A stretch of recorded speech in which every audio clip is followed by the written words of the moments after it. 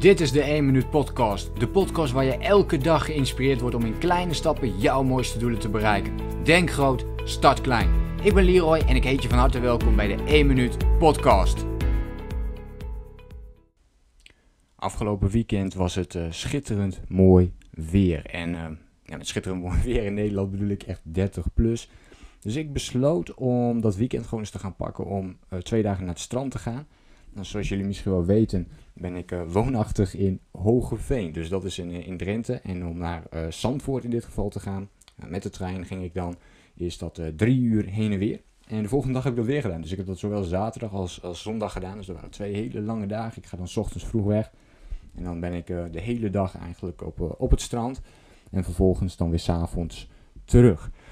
Dat heb ik twee dagen gedaan en ik heb een mooi inzicht opgedaan vanuit uh, ja, vanaf het strand, om het maar zo te zeggen. Um, ik heb die twee dagen ben ik helemaal alleen gegaan. En dan heb je veel tijd natuurlijk om over jezelf na te denken, maar vooral ook om die tijd voor jezelf te pakken. Dus dat weekend heb ik echt tijd voor mezelf genomen. Om eens gewoon na te denken. En ook om gewoon rust te pakken, ontspanning, geen andere mensen uh, om me heen te hebben. Soms is dat juist uh, voor mij in ieder geval heel erg fijn. om die rust op die manier ook te kunnen pakken. En ik had een mooi inzicht wat ik heel graag met je wilde delen. En dat is eigenlijk een vraag. En die vraag is, die ik aan jou zou willen stellen. Vind jij ook van jezelf dat je meer tijd voor jezelf wilt hebben? Echt compleet voor jezelf. Waarin je dus niet hoeft na te denken over wat je moet doen voor je partner, voor je kinderen, voor uh, vrienden, een verjaardag die je hebt. Maar gewoon echt helemaal voor jezelf. En wanneer was de laatste keer geweest dat jij één hele dag voor jezelf hebt gepakt? Zonder contact misschien wel met andere mensen, maar gewoon helemaal voor jezelf. En wat voor impact zou het maken als jij veel vaker tijd voor jezelf gaat pakken? Nou, die inzichten, die vragen, die wilde ik heel graag met je delen. Um, want ik denk dat iedereen behoefte heeft aan af en toe wat meer tijd voor jezelf pakken. Waardoor je kunt, of kunt reflecteren, of juist wat meer kunt ontspannen.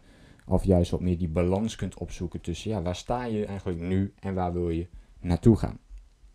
Voor mij uh, was dit heel fijn om, uh, om te doen, om er even helemaal uit te stappen. Eventjes die mindset uh, uit te zetten en gewoon te genieten van het mooie weer, van het strand. En helemaal je eigen ding ook te doen. En ik hoop dus dat jij voor jezelf eens kunt gaan nadenken van oké, wil ik inderdaad ook meer tijd voor mezelf pakken? Of is dit nu al genoeg? en hoe zou ik dat kunnen gaan doen? Dus dat inzicht, neem dat voor jezelf mee. plan wat me-time voor jezelf in. Plan ook dat moment voor jezelf in.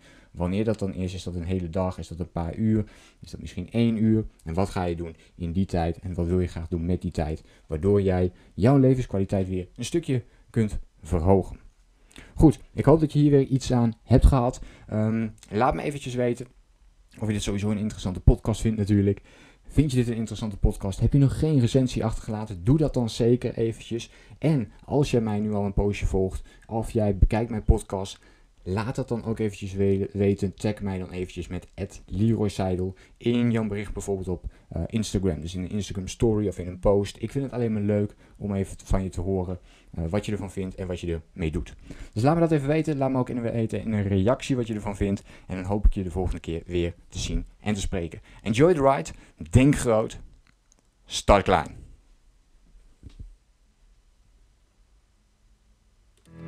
Bedankt voor het luisteren. Geloof jij net als ik dat je in kleine stappen jouw mooiste doelen kunt bereiken? Abonneer je dan op mijn podcast voor meer dagelijkse tips en inspiratie. Laat me weten wat je van de podcast vond, deel de inspiratie en geef het door.